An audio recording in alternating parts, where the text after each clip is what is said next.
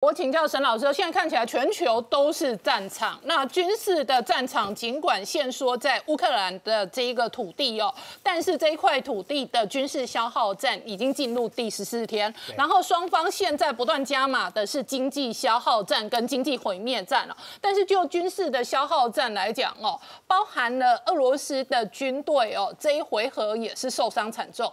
对，呃，经济战到底什么时候结束？我想关键就在军事战。或者整个战场是不是到一定的结果或者是阶段？呃，到底是俄罗斯会战胜呢，还是乌克兰会坚持到底，然后战线延长，最后拖垮俄罗斯？那今天的这个状况，我们先从北部战线的基辅开始。其实我们可以从这个图可以看得出来，其实呃没有什么重大的变化，主要是在右下角这个地方，因为他在伊尔平这个地方其实屡攻不下，所以他现在军队已经慢慢转移，而且。呃，根据美国智库的报道，呃，目前俄罗斯已经动员了车臣、宪兵部队，还有所谓的禁卫部队。禁卫部队其实是捍卫首都的部队，要增援基辅的这个作战啊。目前已经到这个地方，可能会从西边两线进入基辅市区。但是你可以从呃东边来看，东边其实有两两条线啊，但是它还没有接近基辅市呃市区，目前还没有形成所谓的战略包围。那为什么会有这种情况呢？我们看到，其实，在北部有一个城市叫切尔尼克夫。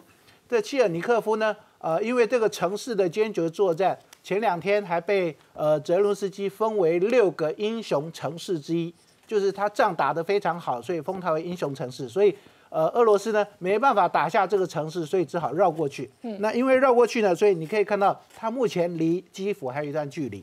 那另外一条线呢，从这个地方来。同样有一个城市叫苏美城，那苏美城呢？俄乌克兰的军队在这个城市呢，呃，也打得非常好，也有效的迟滞跟拖延了这个俄罗斯的军队。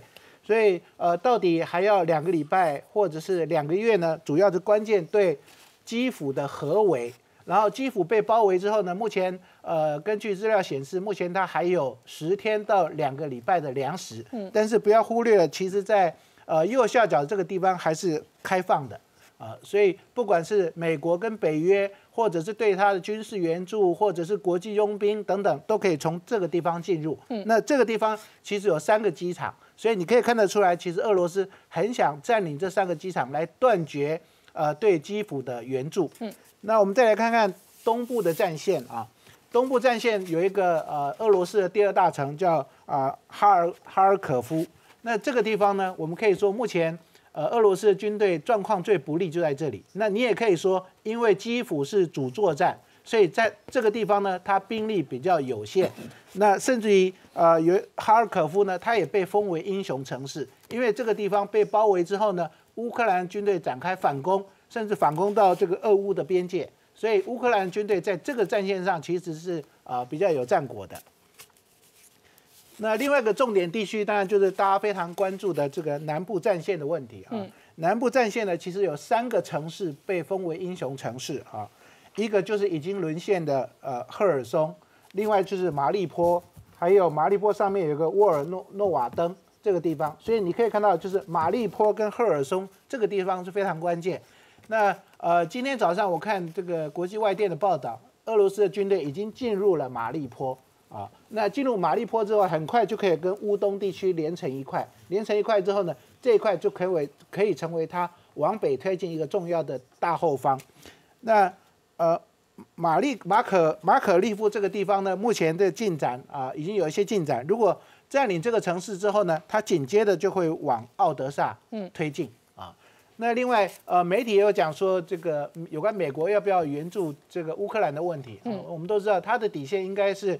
如果俄罗斯针对美国跟北约军队呃发动攻击的话，那美国当然会反击，那就是呃俄罗斯跟美国跟北约的战争。那有人在讨论说，呃俄罗斯会不会呃展开核武的攻击？嗯，那这种情况下，过去的所谓的战略核武的互相的攻击应该是不太可能，但是有可能用战术性的核武。嗯，那战术性的核武呢？呃，俄罗斯主要什么叫战术性的核武？战术性核武就是它不是一个摧毁整个城市为目标。它是协助呃达成军事作战的任务跟目的的小型小当量的核子武器。那它如果用战术性的核武，有可能有大规模的核伤害吗？还是局部性的它的标的的核伤害？